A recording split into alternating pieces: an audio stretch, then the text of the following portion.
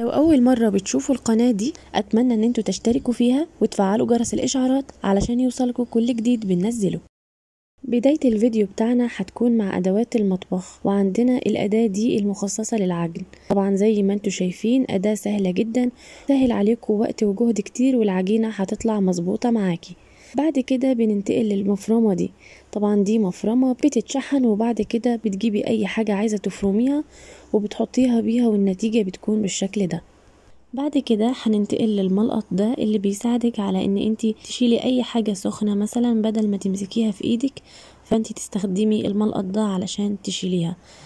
هنا عندنا كفر بيحمي الكنب من إن هو يتوسخ. يعني مثلا لو عندك أطفال وكده فده هيساعدك إن انتي تحافظي على الكنب بتاعك لأطول فترة ممكنة. بصراحة أكتر حاجة بحبها بالكفرز دي إن هي ممكن تتغسل في الغسالة بكل سهولة. هنا عندنا مصفى مخصص للأطباق. ممكن تستخدميه للأطباق للكوبايات للمعالق. وطبعا كل مصفى زي ما أنتم شايفين ليه طبق خاص بيه بتقدري تصفيه لوحده.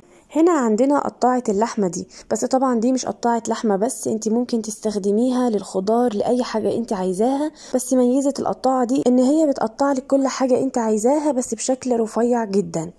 نيجي للراجل ده اللي بيحاول إن هو يزين الرخام بتاع بيته بس بطريقة فظيعة جدا اللي هو ما يبانش إن هو اللي عاملها وبصراحة فعلا مش باين إن هو اللي عاملها. هنا عندنا المنظم ده اللي هو بيتحط في الحمام وبتقدر إن انت تحطي فيه الشامبوهات والكريمات بتاعتك.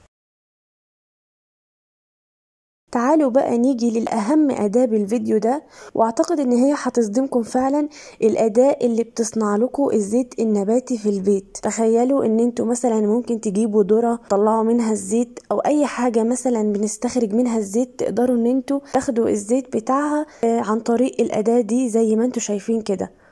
بصراحة أداة رهيبة جدا. ننتقل بعدها للحمالات المخصصة للصابون اللي هو الصابون السائل أو غسيل الأطباق. أي أي حاجة من النوع ده الحمالات دي مخصصة ليه. بعد كده نيجي للقطاعة دي مخصصة للناس اللي هم بيزرعوا كده لأن هي مخصصة للشجر. الراجل ده معاه زي شنطة هيحولها لترابيزة أو لطاولة وطبعا الترابيزة دي فيها رفوف زي ما أنتم شايفين كده. بصراحة حاجة فظيعة جدا. هنا بقى عندنا الأداة الكيوت دي اللي هي على شكل طاقية بس هي طبعا بتكون عاملة زي غطا لل... والأداة دي ممكن إن أنتوا تستخدموها للأزايز اللي هي بتتفتح وما بتعرفوش إن أنتوا تقفلوها تاني.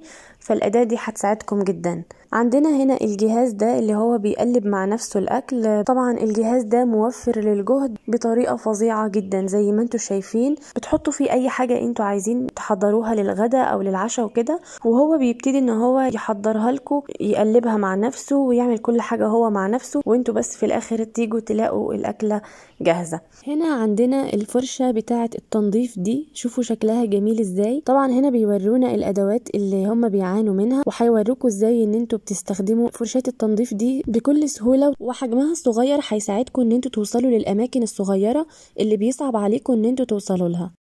هننتقل هنا لمجفف الشعر ده طبعا استخدامه سهل جدا وممكن وانتوا قاعدين تجففوا شعركم طبعا الجهاز ده أعتقد إن هو للناس الرايقة. الأداة دي مخصصة للمقاعد اللي بتطلع صوت لما تحركوها من مكانها. نرجع هنا لأدوات الزراعة والأداة دي بتساعدكم على إن أنتوا تشيلوا النبتة بتاعتكم من الجذور بتاعتها. ده ملقط تاني. طبعا نفس فكرة الملقط اللي إحنا شفناه الفيديو اللي كان في الأول بس أعتقد ده أحسن شوية. يا ريت تكتبوا رأيكم في الموضوع ده في التعليقات. أنا شايفة إن الملقط ده أفضل من الملقط اللي إحنا شفناه في أول الفيديو. وهنا معانا القفل ده اللي هو بيتفتح عن طريق البصمة زي ما أنتوا شايفين بالفيديو كده. هنا عندنا طفاية للسجاير بس زي ما أنتوا شايفين طبعا هي بلاستيك وفيها مادة بتمسك السجاير يعني هتوفر عليكم عناء التنظيف. الجهاز الرهيب ده طبعا اللي هو ممكن تعملوا عن طريقه الكريب لو أنتوا بتحبوه. بصراحة جهاز رهيب جدا. مش عارفة بصراحة هو إحنا ممكن نسمي الأداة دي إيه بس أعتقد إن هي مخصصة للأبواب اللي هي بتفضل إن هي تفتح وتقفل لوحدها كده.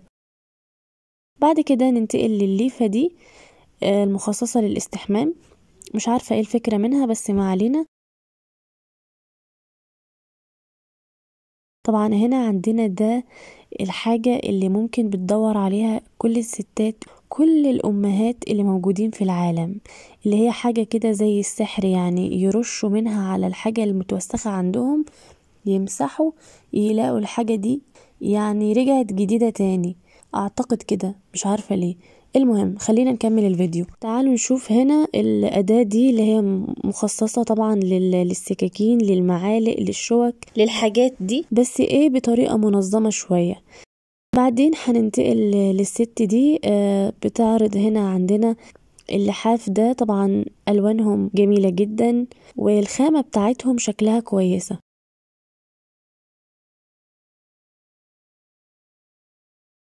تقريبا كده مش عارفة هو إيه اللي جاب الصراصير في الرز بس ما علينا. الأداة اللي موجودة بالفيديو ده فظيعة جدا وهي مخصصة للحبوب. يعني ممكن إن هي توفر عليكم مساحة كبيرة جدا ولخبطة في المطبخ وشكلها حلو يعني. هنا بقى عندنا اللاصق السحري ده اللي هو بيعزل المية عن الإزاز. بتلزقوها وبعدين بتشيلوا الحاجة الزرقاء دي. بصوا إزاي اتعزلت المية عن الإزاز. حاجة جميلة جدا وخصوصا في فصل الشتاء. طبعا هنا بالفيديو ده لو محتارين يا جماعة تحطوا الراوتر بتاعكم فين شوفوا الأداة دي المخصصة لجهاز الراوتر. نرجع للمطبخ تاني ولو محتارة إن أنت هتصفي الأكل بتاعك إزاي شوفي المصافي دي. ممكن إن أنت تلاقي الحل النهائي للمشكلة بتاعتك. نخرج شوية للعربية يا جماعة إحنا اتخنقنا في البيت ونشوف الأداة المخصصة برضو تقريبا يعني إن هي تعزل المية عن الإزاز بس اللاصق السحري اللي كان قبلها أعتقد إن هو هيكون أفضل أفضل شوية.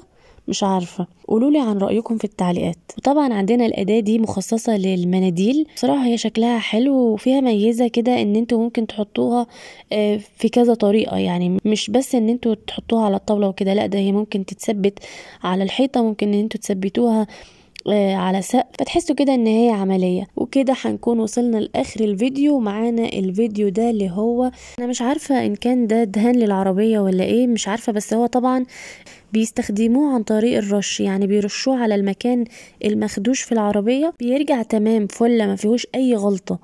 اكتبولي في التعليقات يا جماعة لو أنتوا عارفين الحاجة دي اسمها إيه. وبكده هنكون انتهينا من الفيديو بتاع النهاردة. أتمنى إن هو يكون عجبكم. ما تنسوش إن أنتوا تشتركوا في القناة وتفعلوا جرس الإشعارات علشان يوصلكوا كل جديد.